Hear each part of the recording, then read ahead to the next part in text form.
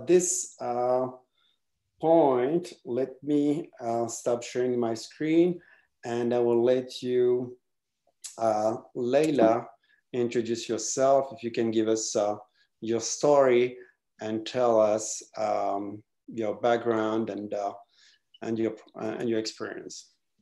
Of course. First off, thank you so much for the invite to be here today. I love helping people out, especially in a forum like this where anyone can tune in and get any advice or questions they have answered. I think this is a wonderful service uh, that you and your company are bringing. And a little bit about myself. So I don't have any slides prepared, but my name is Leila Kanada.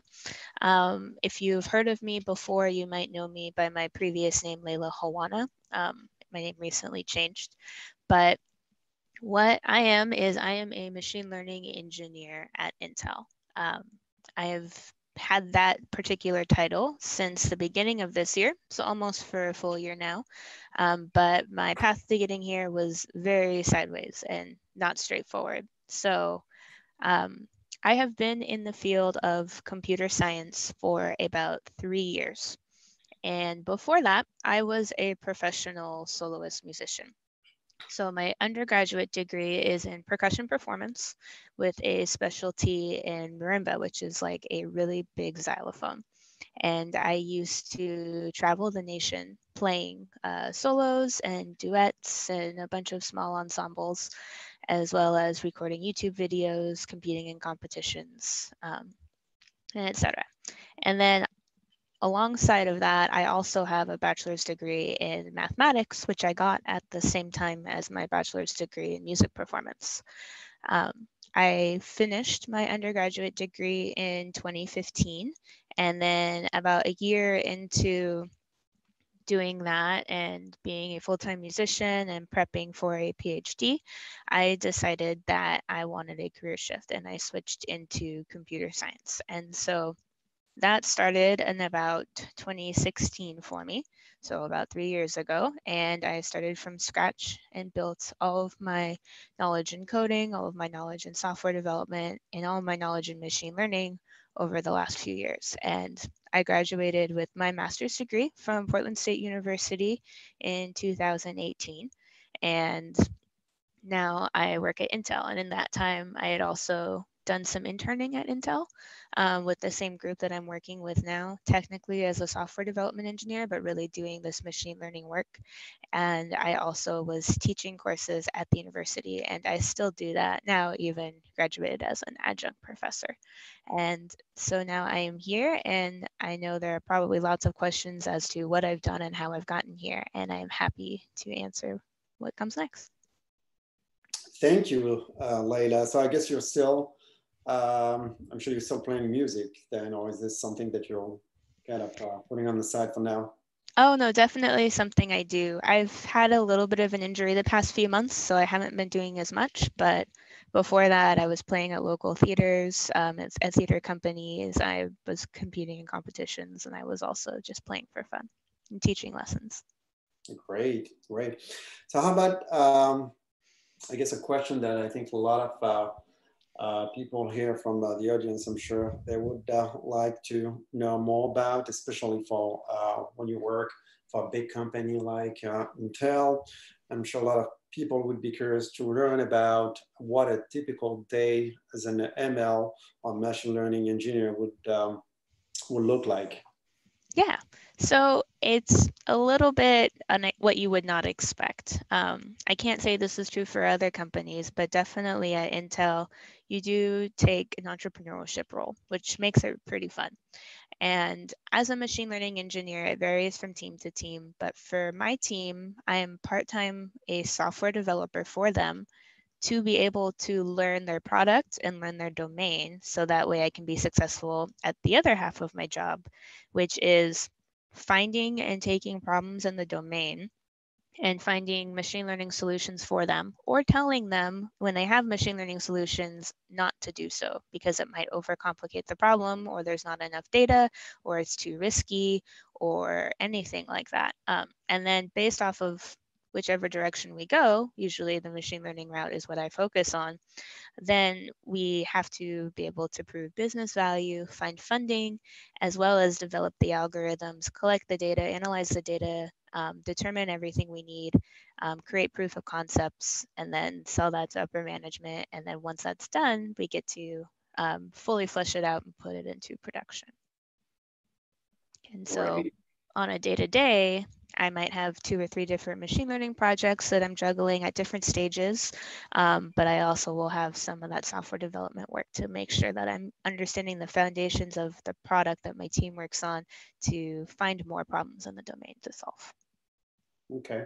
And can you tell us what, uh, very quick, has been uh, your uh, most fun, I would say, project so far? Uh, yeah.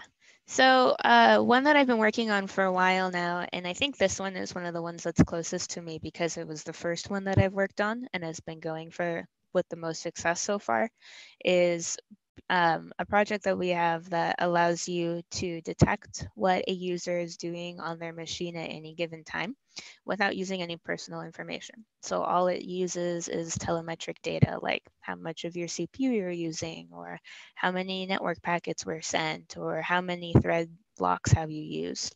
And based off of those types of information, we can tell if you're playing a game or watching a movie or um, doing checking email. And so based off of that, the product that I work for, the team that I work for, um, can adjust power settings and thermal settings so that you get the best experience with what you're doing. So we can change it on the fly. Sounds like a lot of uh, a lot of fun. Yeah. Uh, question here from uh, Faiz. Uh, how much important is data structure and algorithm for career in Intel as a machine as a machine learning software engineer. So is that question asking how important is it to know it or how important is it to use it? Uh, let's assume that it's uh, how much important it doesn't really say. So I would okay. say, yeah.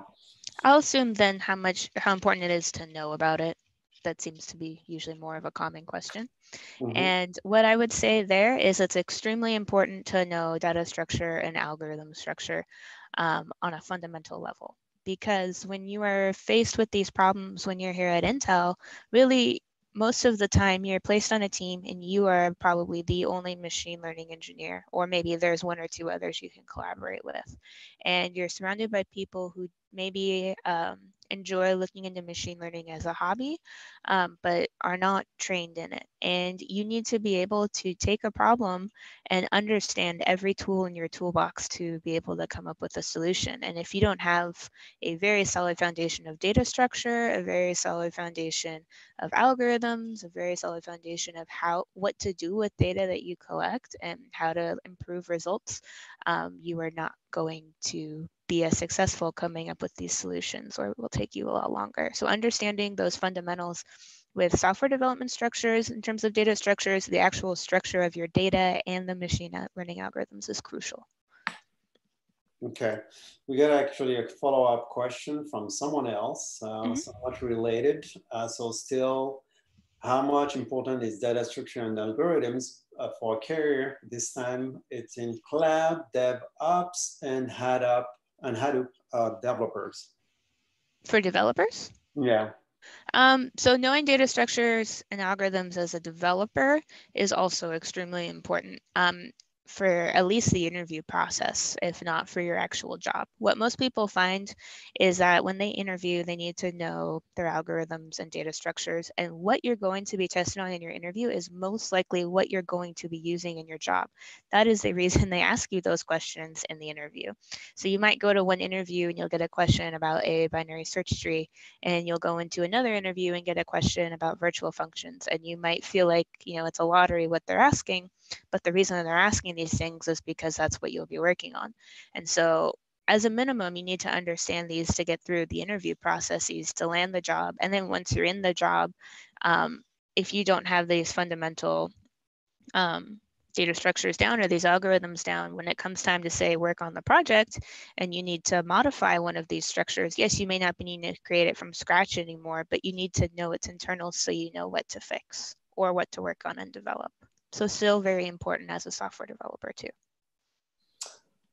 Okay, uh, how about resume parsing? Uh, Naveen Chaudhary is asking. Mm-hmm. Like how, as an interviewer, we parse a resume? Yes. Okay, so I will um, talk about this first with the disclaimer that I personally, in the interview process, I run lots of interviews. I do not usually do the parsing of resume part though. Usually, if a resume has come to me, it's because an interview is scheduled and it's time to run the interview. So when I look at interviews, it's more like, okay, who am I about to talk to rather than am I qualified to pass them on to the next level.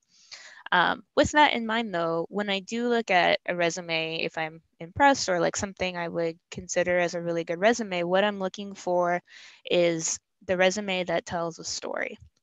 And so a lot of times recruiters will say, put keywords, um, will list your most important stuff at the top, do the highlights. And all of those are really important because as we're reading through lots of resumes, we don't necessarily have a lot of time. However, um, with that said, you don't want to skimp on something that tells your story and some of the most important colorful parts of your story. So a lot of times I see things that are like, have my master's degree in computer science um, from this university with this GPA, have been working at these five or six companies, doing different kinds of roles. Um, and then I might see a list of keywords and that will be it. And while that's a resume that says, hey, I'm qualified, it doesn't tell me much about the person um, versus if I see a resume that says, hey, I got my degree from these schools and the GPA, and maybe I got these awards or volunteered with these communities, that tells me, like, oh, okay, they're taking a part in control of their education, not just getting their degree. And then when I go look at their work experience, I might see that they've had 10 years at the same company, but I can see a little bit of different projects that they've worked on. Um, and so I can ask about those and see how passionate they were about those projects or not. Um, a lot of things that really stand out too are personal projects that end up on your resume, because that shows what you're truly interested in and what you keep working on, whether they're successful or not. Um, it gives us something to talk about and see what you're really interested in a lot more than those keywords will. Um, so those are the types of things that help form your story, as well as um, information you may not think is relevant. So a friend of mine just posted a blog post on LinkedIn about how being a barista actually helped her on her resume rather than hurt. A lot of people told her to take that experience off. But really, what it did is it showed that she had exposure and different skills, that she was taking advantage of her education by working during the same time. Um, but it also gave her skills that a lot of other people don't have. For me, with my music background, um, even though it's not relevant, I still put it as one of my degrees that I've achieved. And it brings in a lot of questions because I have a lot of experience presenting um, preparing materials, teaching, all of that that a lot of other people don't have. And so telling that story is crucial with a resume.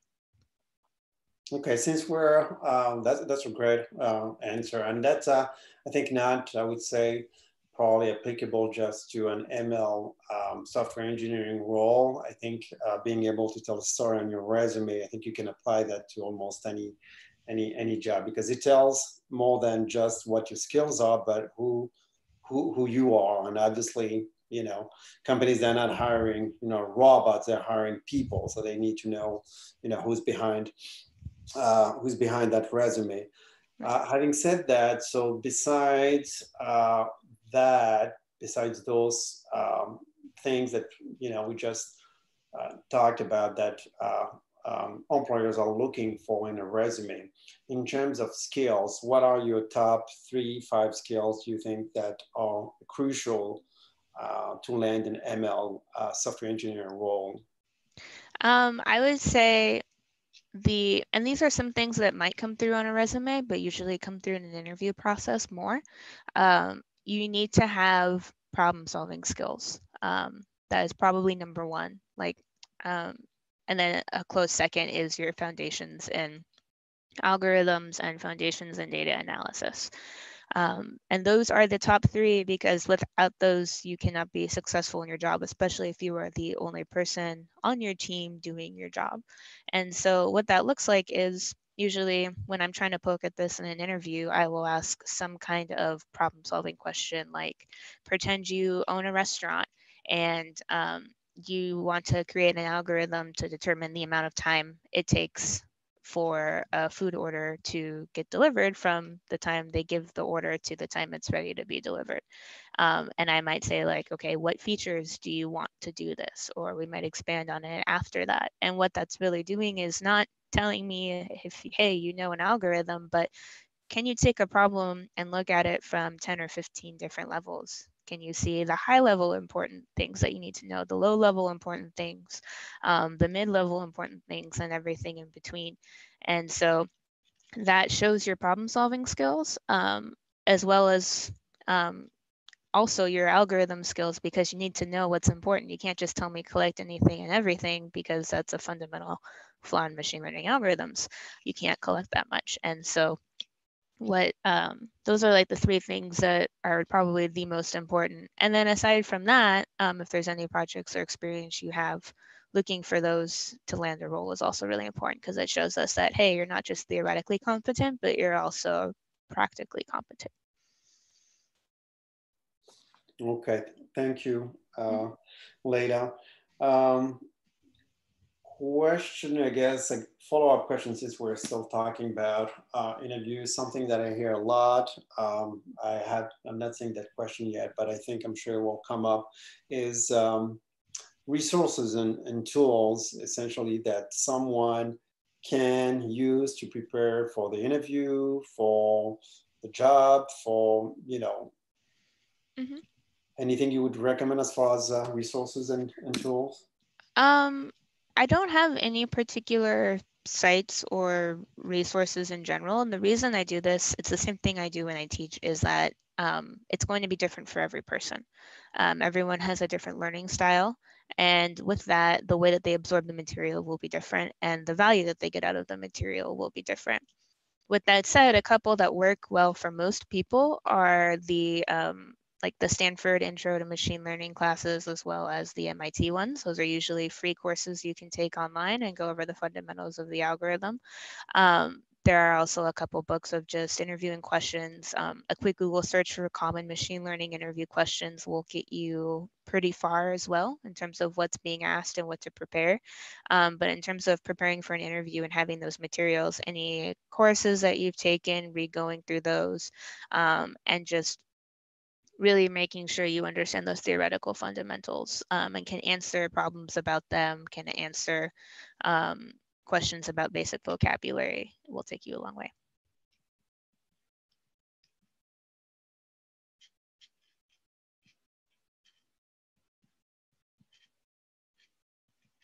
Hello? Oh, sorry, I oh. was on uh, no worries. mute. Um, so what is the uh, what is the interview uh, like? Is there like a typical uh, interview that uh, um, someone need to uh, be prepared to uh, um, to to crack? So there's no really typical interview process because um, machine learning engineers are very popular right now. Everybody wants them. Everybody says they want a PhD machine learning engineer with 10 years of research, even though that's probably not what they're going to be getting or really wanting. Um, it really varies and depends on the product you're working on. So um, I interviewed with a company before accepting Intel that was doing deep learning for um, image processing with autonomous vehicles. And when I was talking with them about the interview process and everything, all of their questions were based around can I um, program a convolutional neural network? Do I know the foundations of a convolutional neural network? And what do I know about deep learning? Um, which made sense because, again, that is the product that they're working on. So I had to prepare a lot of deep learning convolutional neural network knowledge to be prepared for that interview.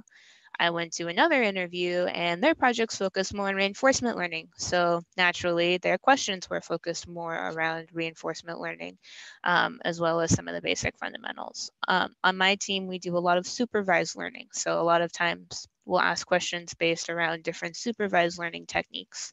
Um, as well as data analysis, which is really critical on our team as well as how well can you analyze data and solve use that to solve a problem. And so there really is no one set of problems for interviews. I mean, other than just knowing your fundamentals and knowing what algorithms do what and what they're best used for. But if you really want to prepare for an interview and interview questions, you need to research the company, find out what their product is about, and based off of that, you can get a pretty good guess as to what you should be studying for for that interview. Okay, great.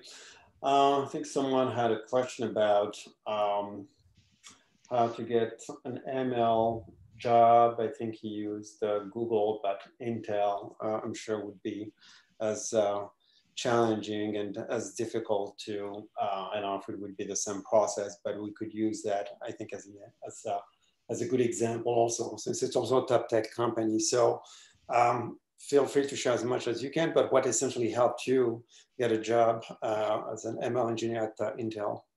Yeah, so this is probably a little bit unusual, but I got my job by um, creating it for myself. So, like I said, I was an intern for this team before as a software development engineer, and that's exactly how I came in.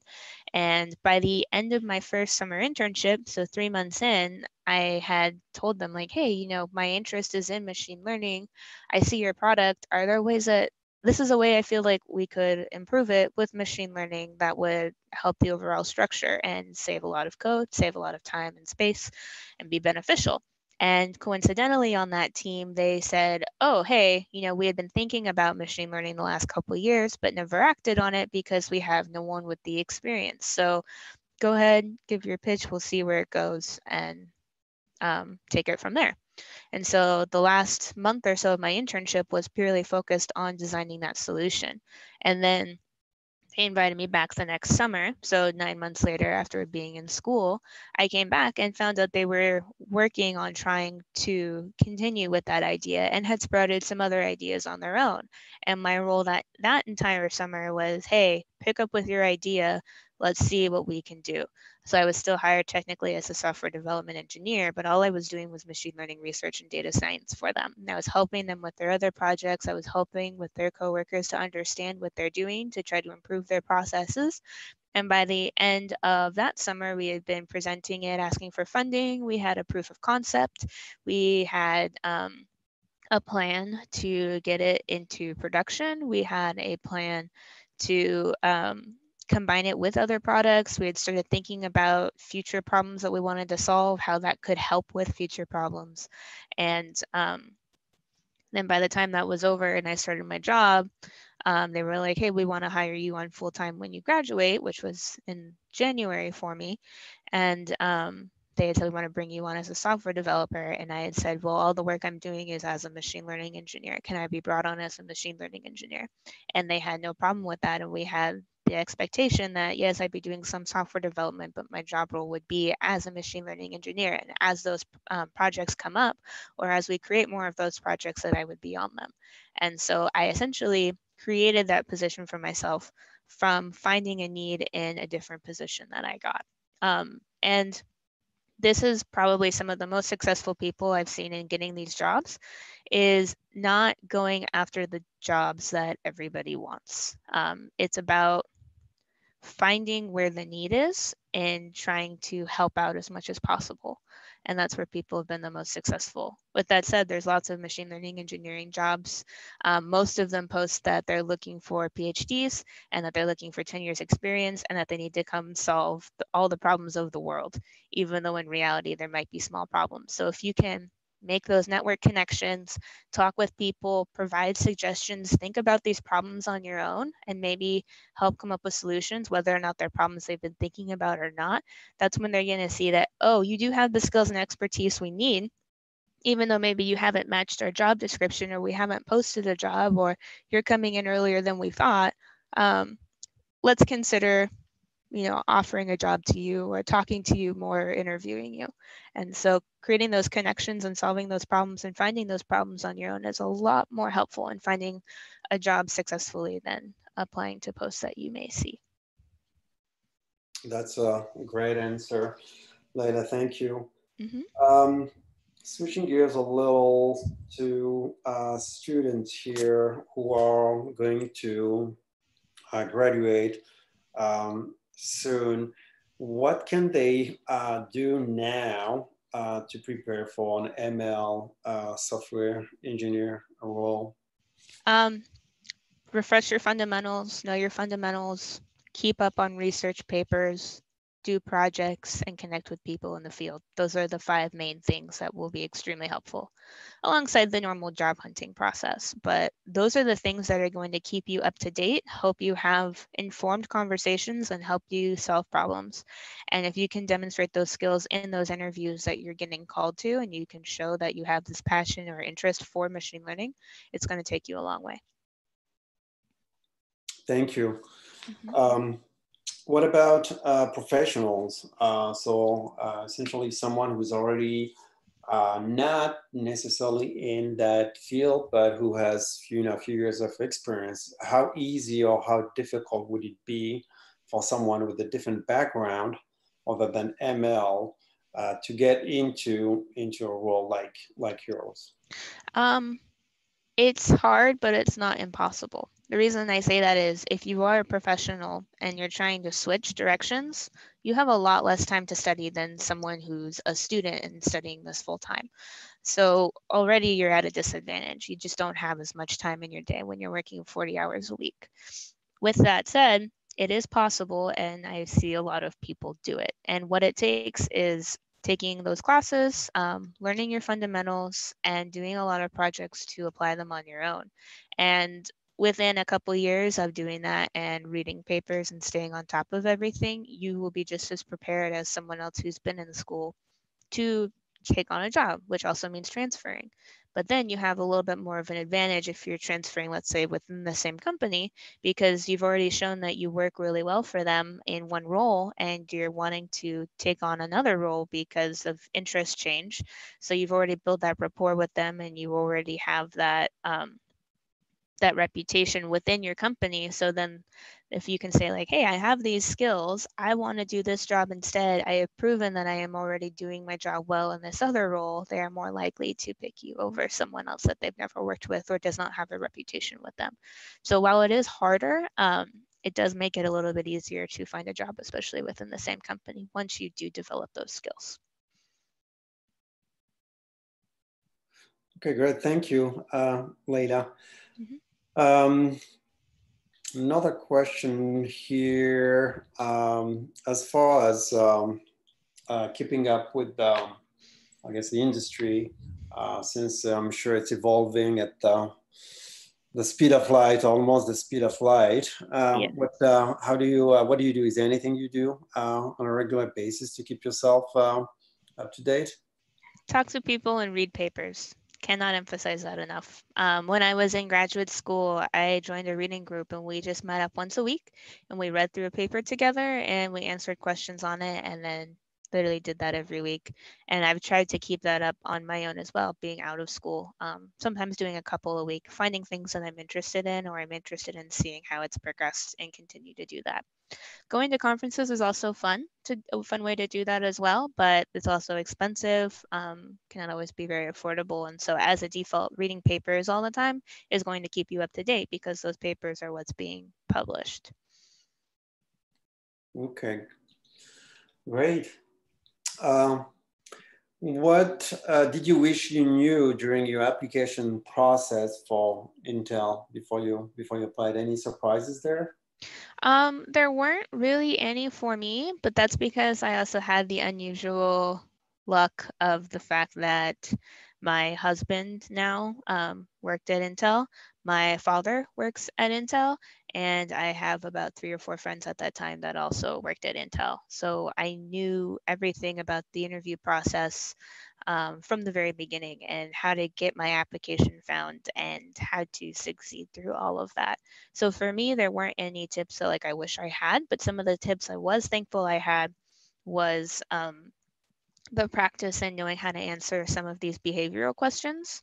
Um, and going through that first. A lot of times we all think those are the easy questions, the things we don't have to prepare, but thinking through those before getting into a high pressure situation and going with what your gut says was extremely helpful. Um, and it helped me understand what I was getting into and how I should be acting when I get into that role. So, for example, one of the most helpful ones was um, let's say you're working on a project and you find out all of a sudden that something has to be done tomorrow and you had plans to go to a concert or something that you've had planned for like six months and or you have your family's birthday party that evening and you can't get it done but someone's telling you you have to get this done. What do you do um, a lot of people will say, well, I'll just stay and get it done, um, or I'll reschedule, or I'll skip the concert because that's not as important as my job. But in reality, what you need to do is you need to have that conversation with whoever is doing it and say, this is what I can do, this is what I cannot do.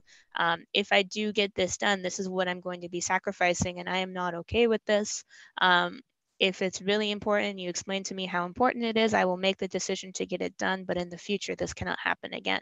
And having that conversation is really setting your ground to say that, no, you cannot take advantage of me and my time versus where someone coming in that would just say, oh, I'll get it done. I'll miss this concert this time, but I'm sure there will be others. And not having that conversation is setting yourself up to be taken advantage of with your time. And so having thought through those behavioral questions that we will get ahead of time was a huge huge lifesaver for me, not in terms of just the interview, but also in terms of learning how to navigate these difficult situations. That's a great answer. Thank you, uh, mm-hmm. Ada. Uh, question here. Uh, which certification is best for career as machine learning? Do you have any like certification you would recommend uh, to take? I don't. Um, for me, when it comes to looking at all of those certifications, all that tells me is that you took a course or learned this material. So um, personally, as someone who's recruiting, I don't really care if you're certified or not. What I care is do you know the information? Um, if you get that through a certification, that's fine. Or if you get that through a degree, that's fine. But that's not really what I'm looking for. So I don't really have any to recommend. Um, I have heard from my neighbor, actually, who is also a data scientist at a different company, um, say that he went through the Stanford, I think it was Stanford Machine Learning or Stanford Data Science um, one year program. Um, and he got that certification. But what he really appreciated about that was the info and the knowledge and the people he got to work with during that certification rather than um, the certification itself. So if there was one to recommend, I might recommend that one, but it's also a hard process to get into. You have to apply and get accepted. Um, but outside of that, there aren't really any that I would recommend. It's just all about knowing your stuff. Okay, okay. Um, how much important is that uh, structure on your algorithm? No, I think we covered that one already, sorry. Uh, what is the difference between artificial intelligence and machine learning? Ah, good question. Um, so I think of machine learning as a subset of artificial intelligence. Um, it's what I, if you're trying to personify this a little bit, I think of machine learning as the brain. Um, and artificial intelligence also is a brain, but more of like a being. So a lot of times when we see robots doing things or um, picking up cans or walking or those types of things, that's what classifies more of the artificial intelligence. There's usually an agent relationship, and that agent is the thing that is doing what you want it to do. Um, machine learning this is why I say it's a subset of it because machine learning also fits in with artificial intelligence, is more of the algorithms. So this would be like a classifier. Um, it could be a reinforcement learning agent, which is borderline machine learning and artificial intelligence. Um, it could be a clustering algorithm. It could be anything like that that you wouldn't picture an agent with. Like a classification algorithm, yeah, you could put that in a robot and all it would do is classify things, but it's not making it walk or making it move or do anything.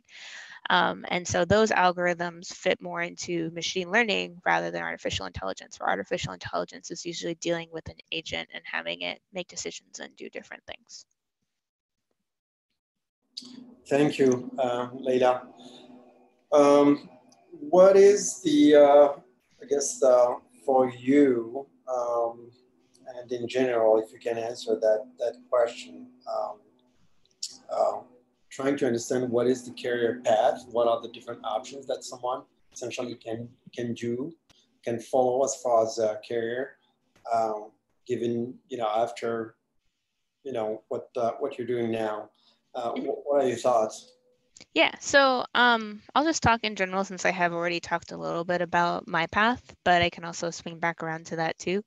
Um, but there's a variety of different paths you can take. If you go the PhD route, you can become a professor, as you can with most degrees and as a PhD in machine learning. Um, you can do research for different companies, like big companies like Microsoft, Intel, Google will hire PhD researchers as part of their lab. Um, you can go give talks, you can start your own business, anything like that. Um, most people, though, if they're going for the PhD, want to be in academia or in those industry research positions. So that's one path. A second path is you can end up with your master's, and sometimes a bachelor's degree fits into this too, but usually a master's degree. And you can do some research, but more often than not, you're going to end up in the machine learning engineer role, like similar to I am. And this will can involve more of a software development machine learning or deep learning role where you're de- literally just developing the algorithms. So it's like a software developer, but strictly for machine learning algorithms. Um, you can land in a position like mine where it's more of a problem solving position where I'm hired to come up with solutions to problems. And yes, I'll help with POC, but really I'm hired to design these solutions and put together a team to work on them as well as that entrepreneurship role. Um, so that is another type of position. And then again, making your own startups, starting your own businesses is definitely a third position that has been popular with these machine learning roles. And it's actually also something that I'm a part of too. Um, I work with a startup as a machine learning researcher um, on the side. And so that is another path that you can take um, alongside with if you can do research, but a lot of times those research roles are much harder to come by as a master's than it is a PhD, which is why most people go the PhD route if they're doing that type of career. Um, and then below that, if you are, let's say, in a different field and trying to transition into machine learning, you will often end up in that role similar to someone with a bachelor's or master's degree where you're doing more of that development or problem solving type of research. But if you want to do the full on um, machine learning cutting edge research with these bigger companies or even smaller companies, or you want to teach, that's when you would fully transition by going for a PhD instead of just learning it on your own. Um, there are also some entry level jobs that people can fall into, um, usually not for machine learning. It's they label it as data analyst or data science, where you're filtering through data and cleaning data and helping people, or you're designing tools for machine learning researchers to use in their machine learning research. And that's also another option. Okay, right. We actually just had uh, uh, data analyst uh, from Google, I think, the other the other day. Mm -hmm. um, what is the, uh, I guess another um, question about uh, some definition, and I hear that one also a lot. Uh, and I think this one is also, I think a lot of people um, getting, you know, confused or not really clear on is the, the, the difference between machine learning and deep learning. Ah, so it's really an algorithms difference. So if you're doing Deep learning is another subset of machine learning, which is a subset of artificial intelligence, and it is a class of algorithms that use deep learning techniques.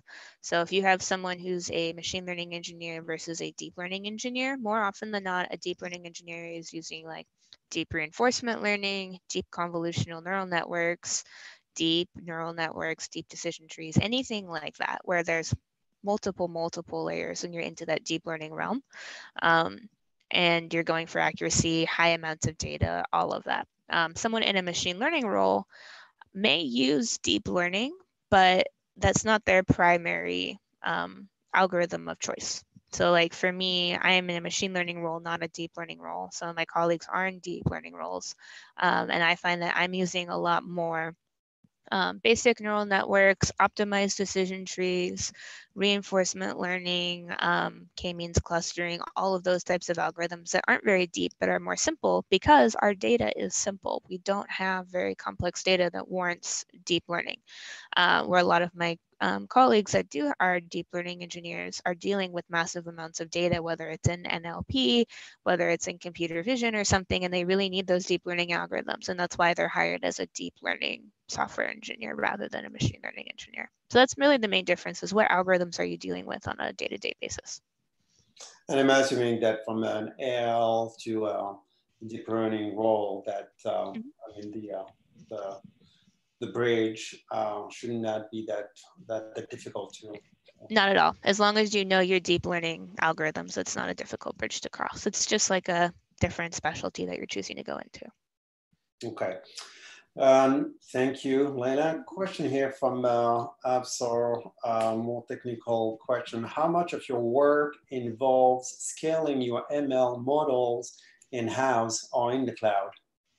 Um, so all of just because of my team and my project I work on, we don't do anything in the cloud and we don't scale to do anything in the cloud. All our stuff is local and that's what we try to do.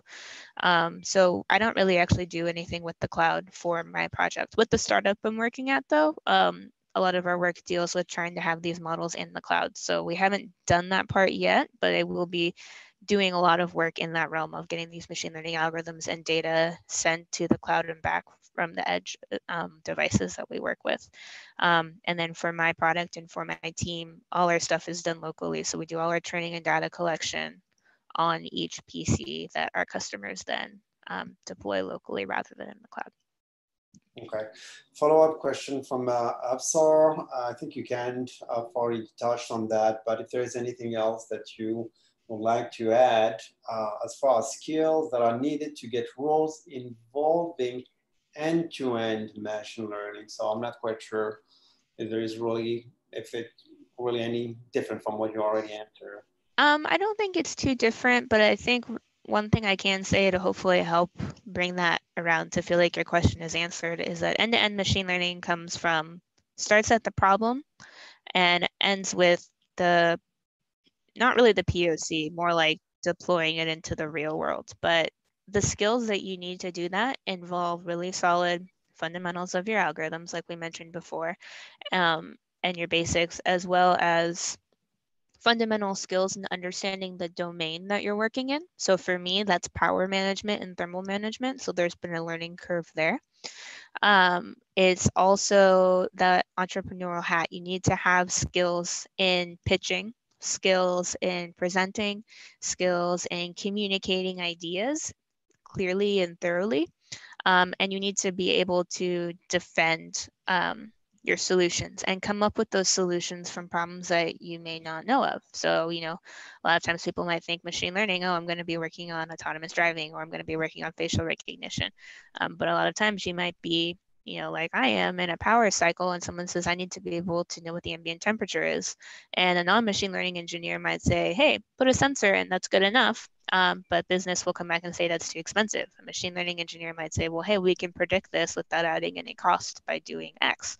So that involves not only um, domain or machine learning and knowledge, but it also involves domain knowledge and knowing how you could solve these problems within the constraints of your company.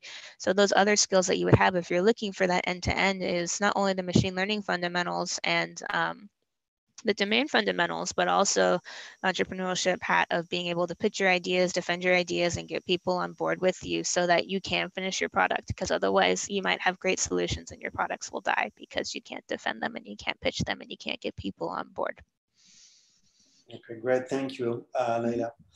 Uh, question here from uh, Albert. I think um, the uh, so you mentioned earlier um, uh, attending conferences as a way to um, keep yourself, you know, update, mm-hmm. up to date with the uh, with the tech uh, evolving and. but I, I, think his his question has to do with more of um, jobs opportunities. Have you mm-hmm. seen? Um, have you gotten a lot of job opportunities from uh, from attending these conferences? Uh, yeah. So I actually haven't attended a lot of conferences um, uh, outside of Intel just because of cost and being sponsored. I have attended a few though, and I have colleagues that have attended a lot. And um, there's usually booths there of companies that are looking to hire people in the similar interest of the conference. Um, so there's always those opportunities there. A lot of times you can network them before you go and then meet them there, or you can just meet, show them your resume. A lot of times get interviews on the spots. So jobs wise, there's that type of um, straightforward networking opportunities. But then there's also meeting people, different speakers, different people attending the conferences, and getting that networking advantage that will then lead you to jobs they might have at their companies, um, even though they're not there recruiting. They may know and can connect you with people to help you find jobs that way. Um, so job wise, there's definitely a lot of advantages to going to conferences. Not only are you meeting people, you're getting your name out there and you have the chance to meet people who do have job options for you.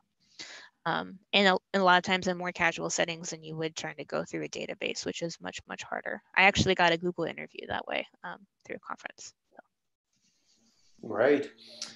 Um, thank you, Leila. I think we're getting close to uh, the end of um, this uh, webinar. Unfortunately, we'll take a few more questions and then we'll wrap things up.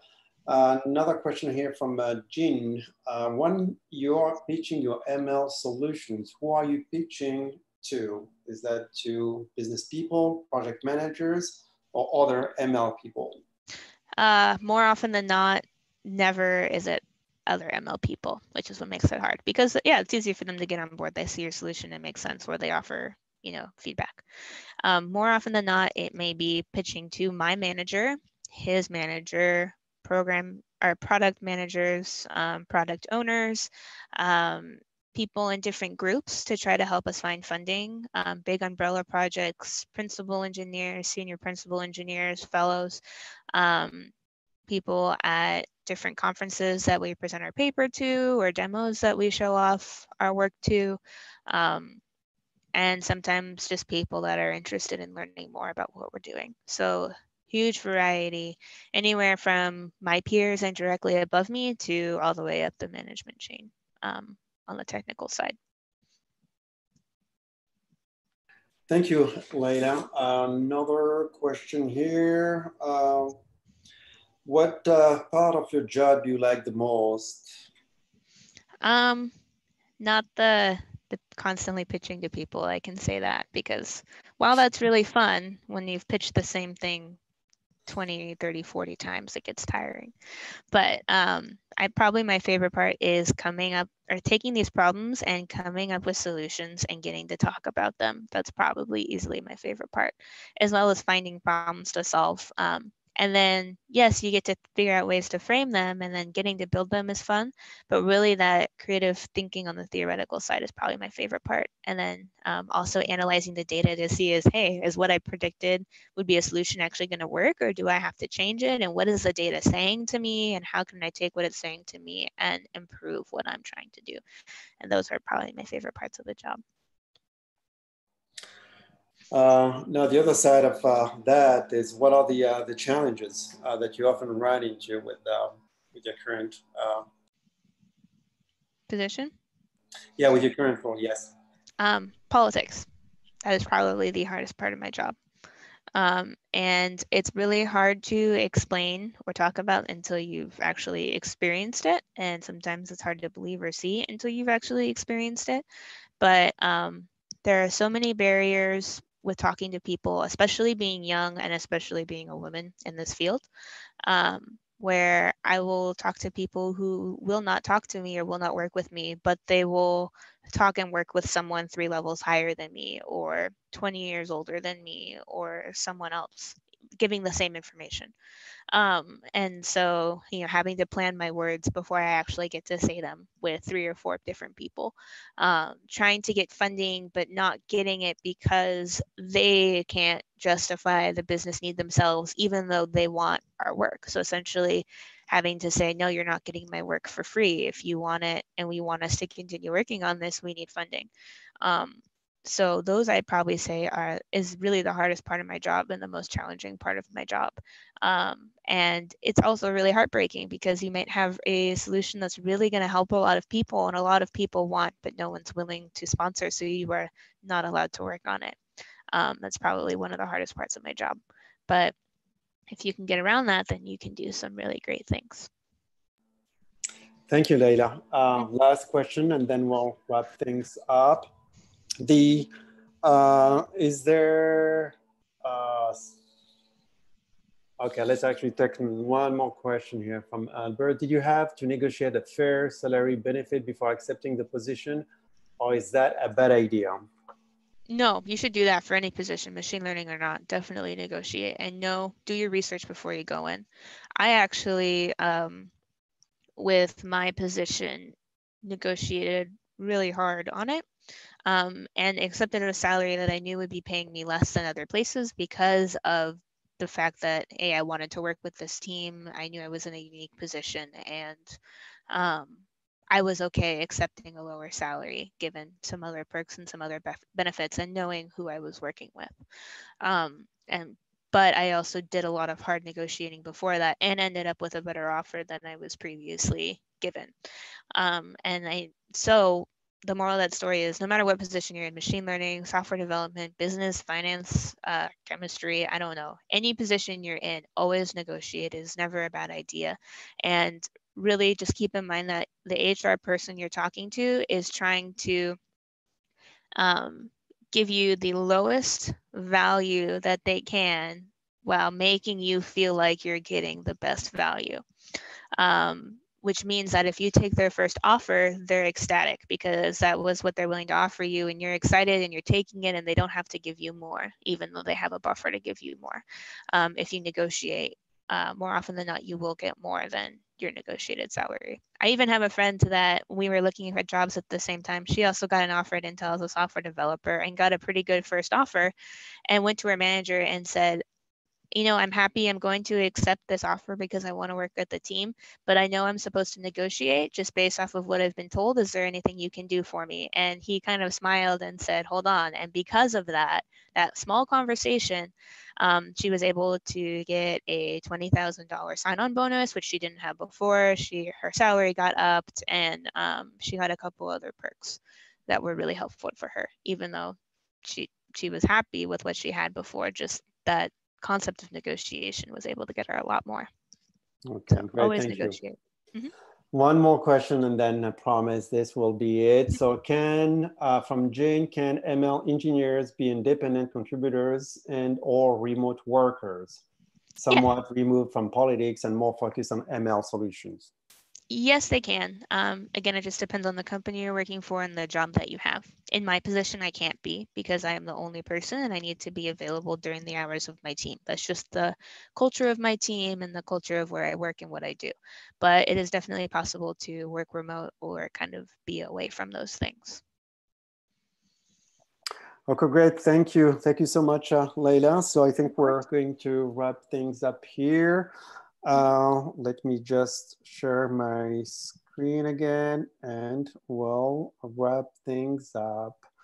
Um, any uh, last uh, thought, uh, Leila, before uh, I, I, start sharing my presentation? Um, I don't think I have anything more other than if you're excited um, and you're passionate about machine learning, um, just keep trying and you'll find something. Great. Thank you. Mm -hmm.